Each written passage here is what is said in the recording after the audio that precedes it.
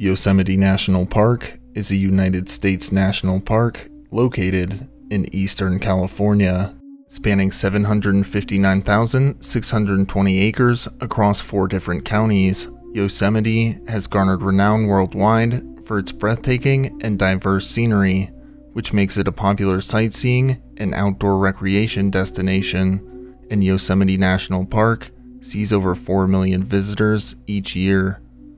Over 90% of Yosemite is designated as wilderness area, and the park hosts an expansive variety of flora and fauna and many diverse ecosystems within it.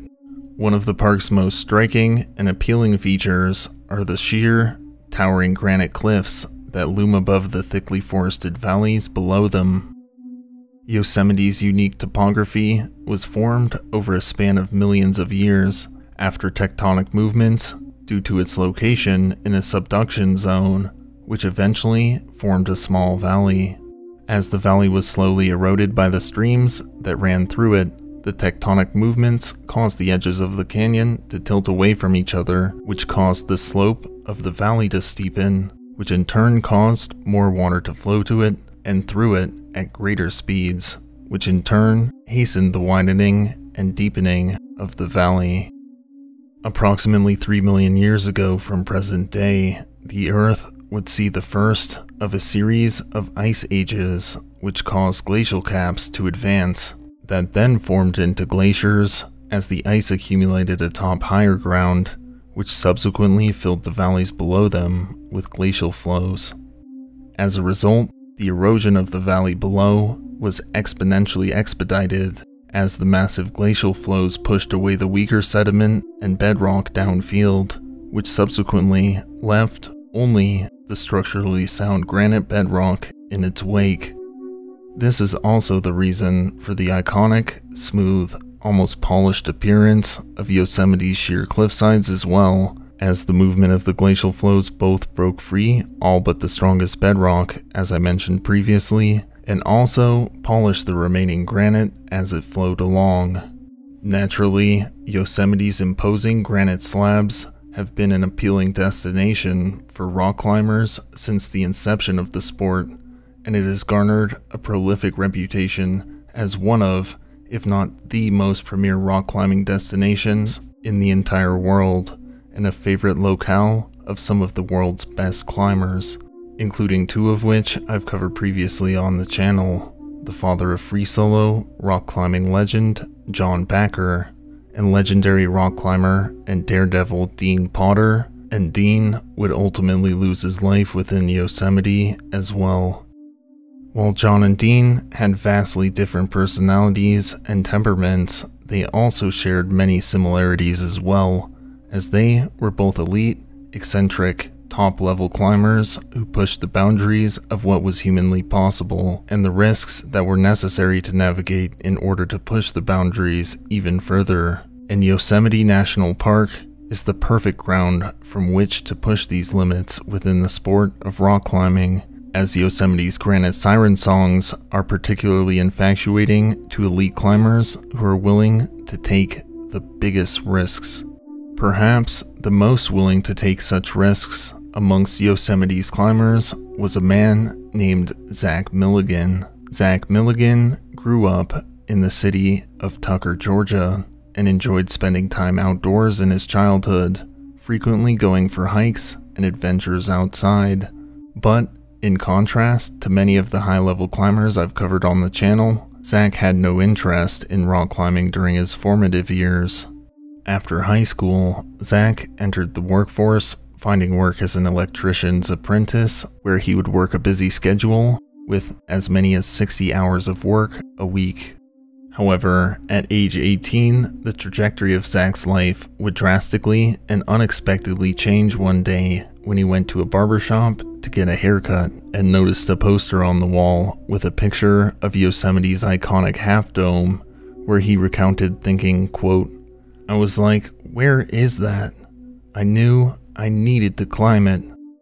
Then I went to Mountain Ventures, a since closed climbing retailer in Atlanta, and saw a picture of Peter Croft soloing the rostrum, and that completed it. Whatever that is, That's what I am now. He later recounted of his climbing career's origins.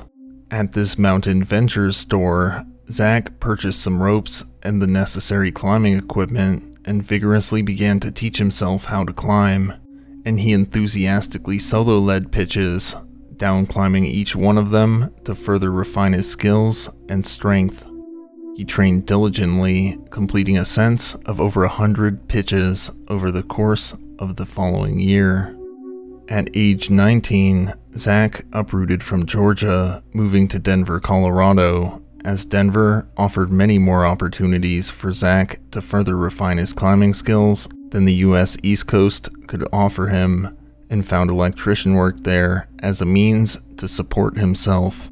Zach quickly assimilated into the local rock climbing scene, and his intense drive for improvement, as well as his solo lead climbing experience, led him to begin experimenting with free solo climbing after he was challenged to free solo ascend the Bastille Crack, a simple 5-7 rated climb. Free solo climbing is a topic I've covered several times in videos on my channel, but for those of you that are unaware, free solo climbing is the act of climbing without the use of any safety equipment, which is differentiated from lead solo climbing, as lead solo climbing is performed with ropes. Free solo climbing is the most extreme discipline within the sport of rock climbing, and only a small percentage of climbers attempt free solo ascents, as the consequences for even a single mistake can mean death or grievous bodily injury at best should one happen to lose their grip and fall. After completing an ascent of the Bastille Crack with relative ease, Zach's anxiety about free solo climbing was greatly relieved and he soon followed up this ascent with an ascent of the more challenging 5-7 plus climb, Osiris, and although the route was more technically challenging, it was during this ascent of Osiris that he truly realized that he was not afraid of this sort of climbing, recalling, quote, It had off-widths on it, and that was my first taste of wide climbing, soloing that shit. That's when I learned I could keep it together and was not afraid of heights, Zach later recounted of the climb. The following winter, Zach returned to Georgia, where he paid a visit to his favorite gear supply store, Mountain Ventures, where he inquired about ice climbing and the equipment needed to partake in it. And the owner of the shop, who knew well of Zach's enthusiasm, loaned him his own personal ice climbing equipment to test out. Zach immediately leapt in his car and drove to a spot in North Carolina to try out the gear and after experiencing his first taste of ice climbing, Zach was hooked and immediately returned to Mountain Ventures to return the gear and subsequently purchased a full set of ice climbing equipment for himself before he set off for Colorado once more.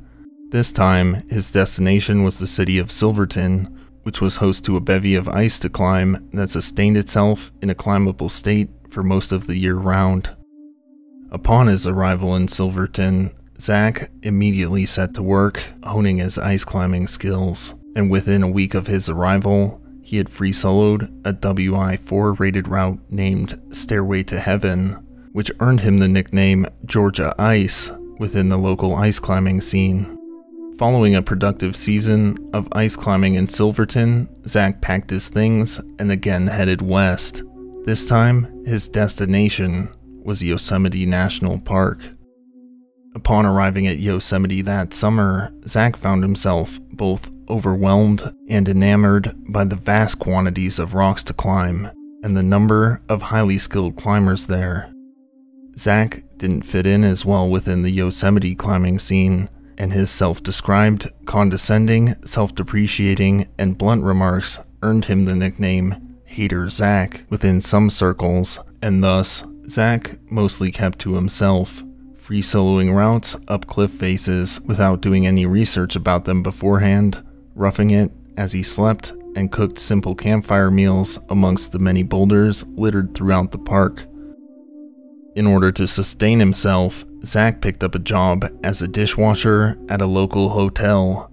However, during this rather short lived job at the hotel, he was far from a model employee, as he seemingly showed up for work whenever he pleased and would openly drink while on the job. After a short stint at the hotel, he was summarily fired, with his termination slip amusingly reading, quote, Fastest dishwasher I've ever seen, but worst employee ever. Do not rehire, it read. He then found work with Yosemite's custodial service, a job which he clearly liked significantly better, as he would remain at this job for the next 13 years. It was also around this time that while wandering through the wilderness of Yosemite, that Zach would happen across a cave which would become his home for the next 13 years as well.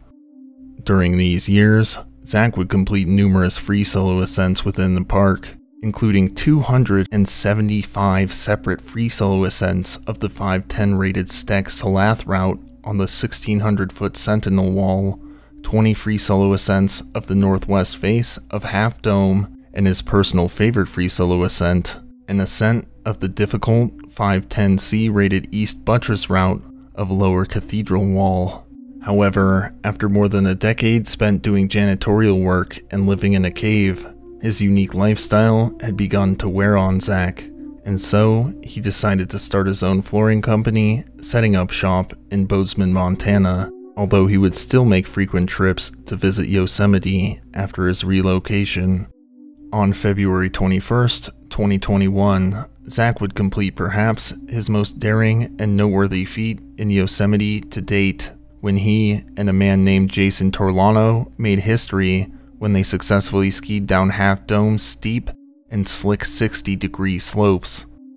Notably, when he was interviewed following the descent, Zach remarked that he didn't even consider himself a real skier, stating, quote, I wasn't in a survivable situation. I had no business being on Half Dome.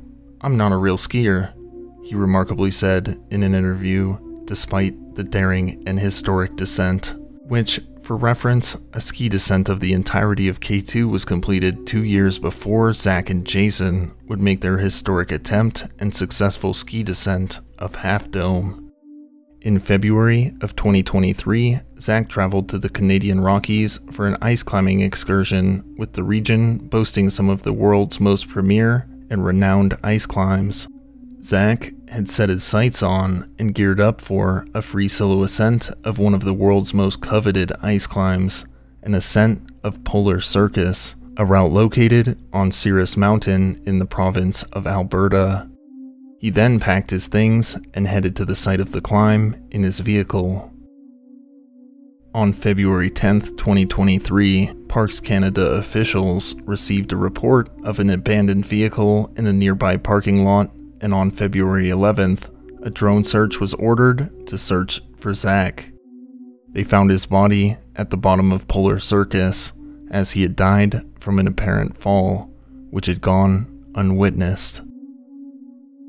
Following his death, his family refused an official autopsy as his cause of death was quite apparent, and thus his death was deemed accidental as his family members knew that he died doing what he loved free solo climbing.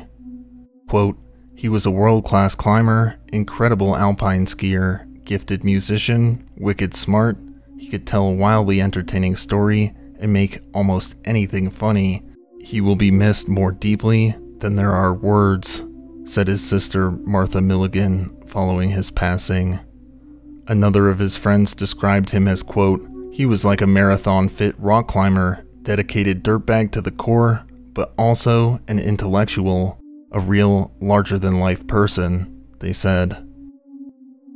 Ultimately, Zach tragically died while doing what he was the best at and loved the most free solo climbing and as another friend and climbing partner once described him, quote, He's the only person I know who gets worse when on a rope, they remarked. This is likely because, like the other free solo climbers I've covered on the channel, Zach described free solo climbing as a meditative, almost religious experience, stating, quote, You feel like you're in contact with God. It makes me feel like I'm in a magical place he described of his numerous daring free solo attempts. Zach was 42 years old at the time of his death.